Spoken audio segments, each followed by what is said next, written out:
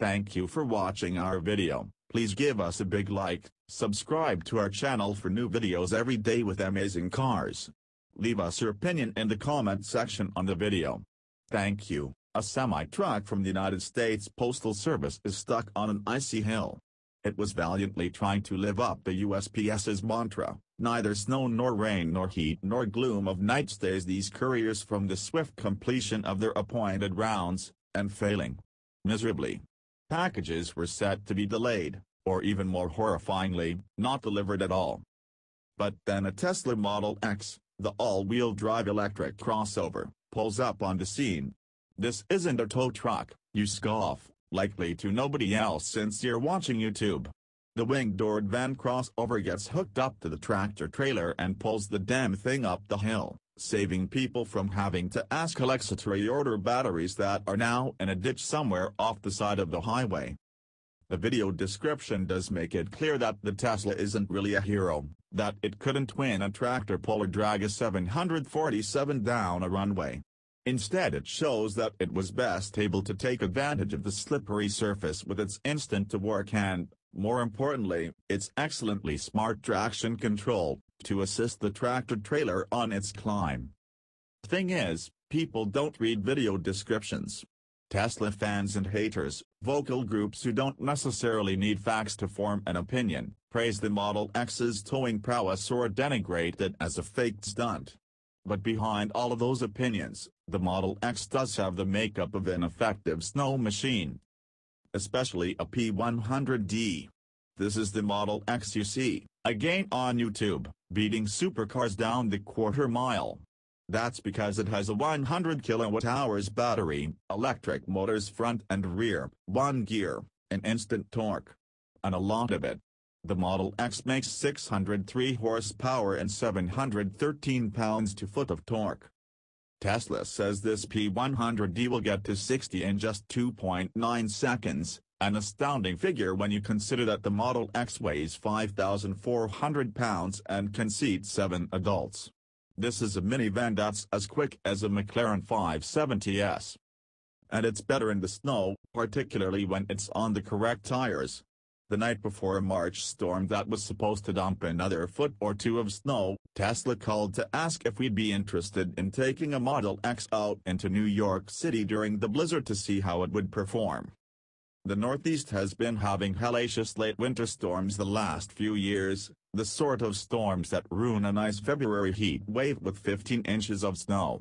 The storms that make people claim there is no such thing as climate change because it's snowing in March, even though it was 65 degrees two days before. This storm was different.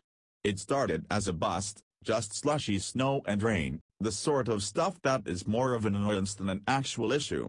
The most perilous part was stepping off a curb into a puddle that'd soak through your shoes, make your socks wet, and ruin your day.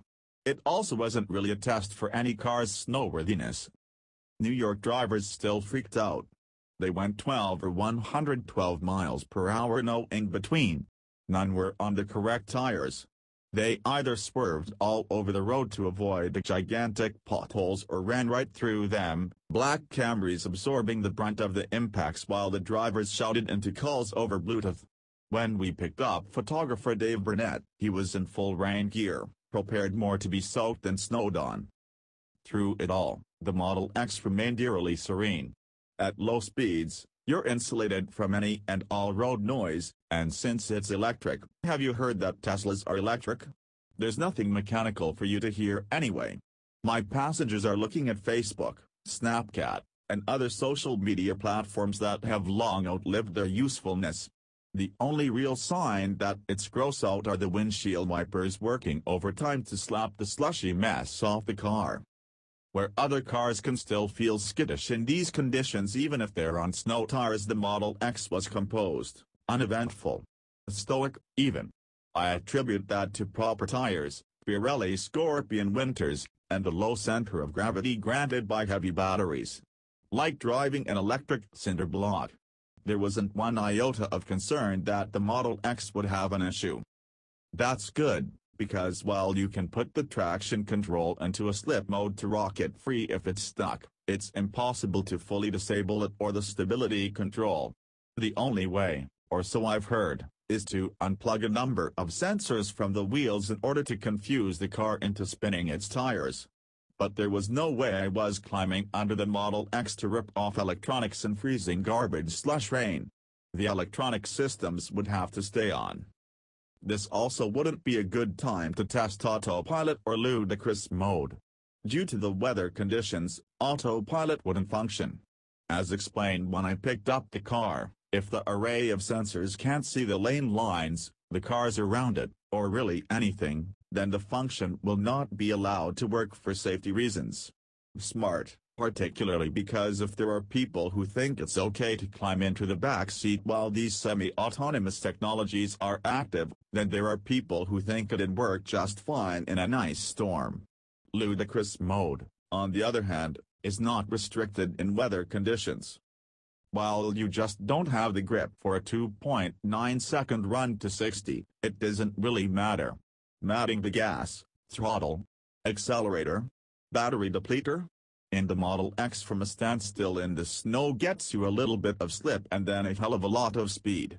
That little bit of slip is nearly imperceptible, just a quick loss of traction from the wheels before they scramble and find grip again.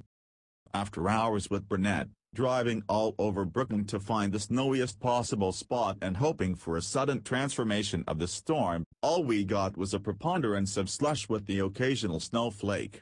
As we dropped him off, it started to snow a little harder, but not enough to make him get back in the car. We should have had him get back in the car.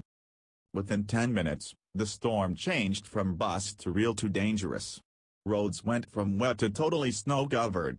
Snow was falling at a cartoonish rate, blanketing the disgusting sluggy mess with pure, heavy white stuff. Lincoln Town cars spun tires on the side of the road. Camrys, Accords, and other Uberish cars hogged lanes, driving slowly, wishing their wiper blades were new. Delivery bikes slid all over the place, getting burritos to people who refused to leave dingy studio apartments. The Model X, like butter. In a good way. Is this a bad analogy? It seems like a bad analogy. Let me start again. Imagine a silent Range Rover. That's how the Model X did in snow around the city. Granted, the winter tires were a big help, but what was a challenge for any car was a non-issue for me. Once back through the Holland Tunnel, I realized a couple things. First, we should have spent the whole time in Jersey because it looked like it had been snowing for a year and we would have really been able to test the capabilities. Second, the programming on the Tesla's stability and traction control is secretly impressive. You can drive like a total moron and the Tesla won't take any of it. Give it big swings of the wheels, aggressive throttle applications, or really anything else dumb you can think of, and it'll shut you down and stay on the road. No, this isn't fun. If you were hoping that it'd let you slide around and be a loon, your hopes will go unanswered. The whole point here is that it's safe, and that's a rousing success. But it's not without frustrations in bad weather.